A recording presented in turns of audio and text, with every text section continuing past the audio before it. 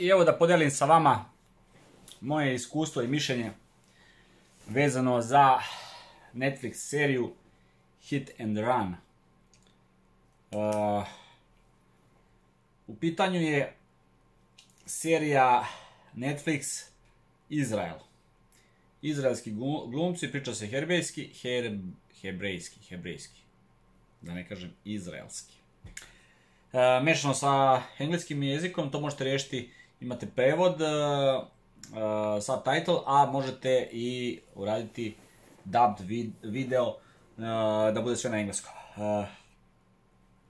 Što se tiče same serije ima 9 epizoda i mogu reći da je serija jako, jako dobra, gradi dobru priču, finu atmosferu, ponekad to deluje malo sporo, ali u suštini je ok.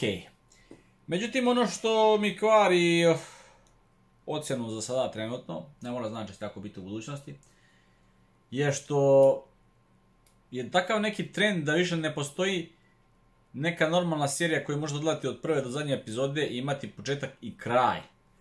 Ovdje imate e, kraj koji nije kraj.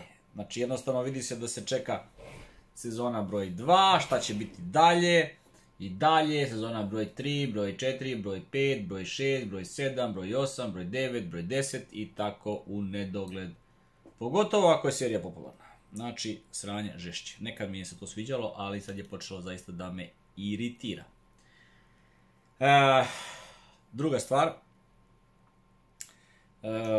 radnja se e, odvija na sljedeći način. Imamo tu jednog glavnog lika, prilično dobar glumac, jako dobro glumi i dobro mu leži ova uloga. Segev Azulaj. on je oženjen jednom plesačicom po imenu Daniela Azulaj. To mu je žena, ima drugu ženu i čerku iz prvog braka, Eli.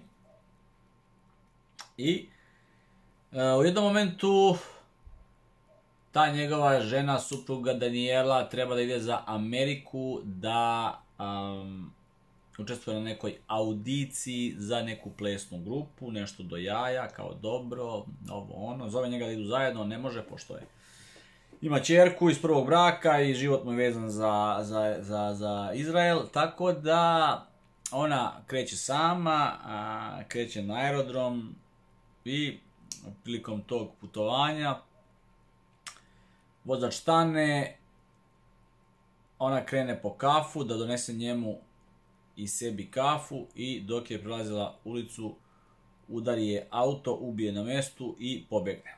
Zato i jest taj naziv serije Hit and Run, udri i beši. Slang za saobraću nesreću. E, šta dalje reći? Odatle počinju stvari da se komplikuju. E, priča se tu zakuvava. Segev ima i, i, sestru koja radi u policiji. Ona mi je najbolji lik u seriji i, i baš je dobar akcent na njoj i ona ima izuzetno dobre, dobre, dobre scene.